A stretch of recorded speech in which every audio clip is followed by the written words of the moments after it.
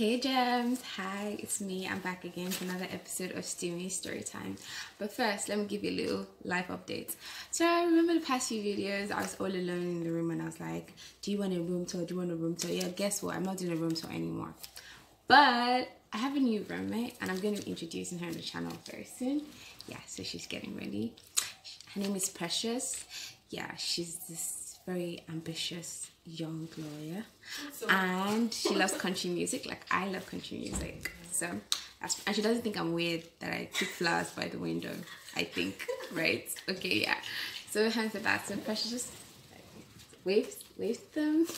So yeah, that's Precious. Um so today I'm going to be reading um, a story called Bantu Knots.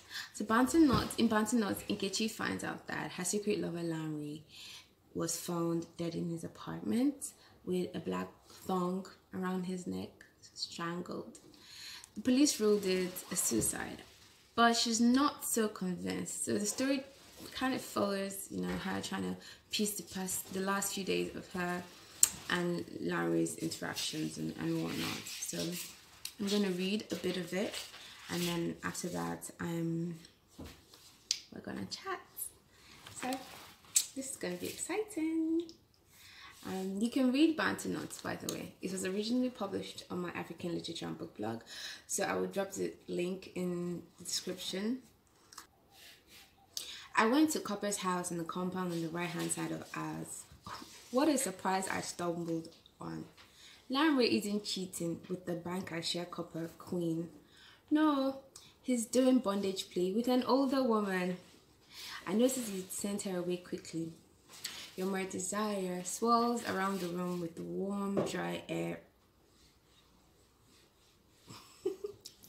I spotted an inside-out black tongue with cream residue amidst the Rumford bed sheets. A discarded condom in the tasty fried chicken island the left corner mocks me. Cripps notes in thick in a thick bundle of Naira next to today's newspapers confirm Nana's susp suspicions. Lanre begins apologizing about the messy bed. He was having nightmares before I called him.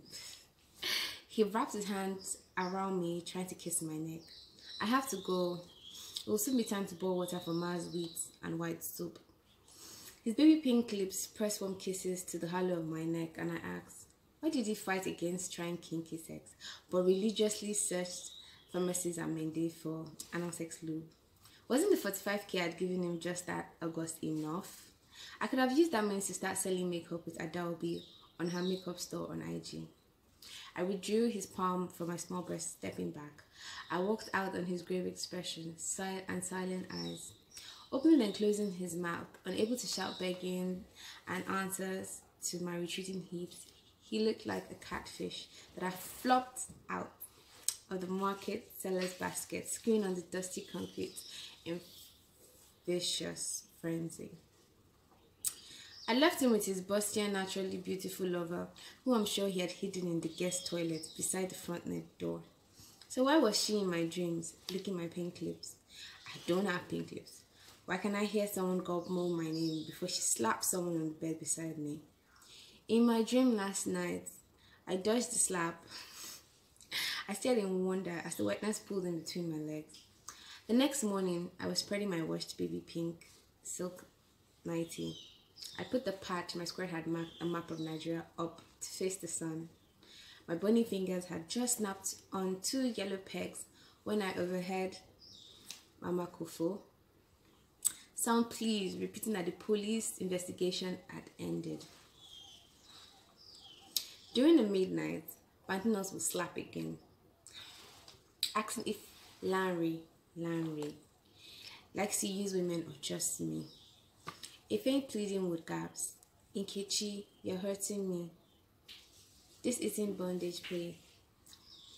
When big brown nipples bounce across my face, reaching for something, squeezing, jerking it, grinding, orgasmic dance against me, my fingers grab a fistful of my yellow Egyptian cotton sheets. A tiny pool of tears are no longer on the pillowcase hanging in the wind.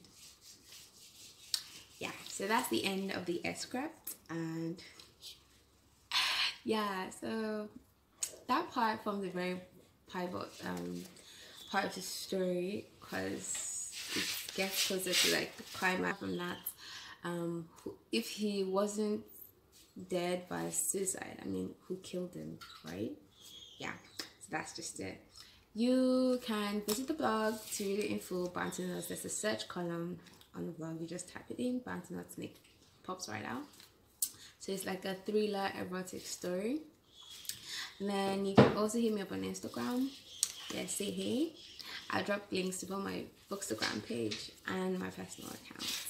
Today on the blog, I'm going to be talking about um, my life so far on law school campus. I'm also going to be talking about um, my November reads. So if you you know want to peek those and all of that, then you know the link below. If you liked um, this particular extract, um, you should give this a thumbs up. I'm saying too much and too much. Give this a thumbs up.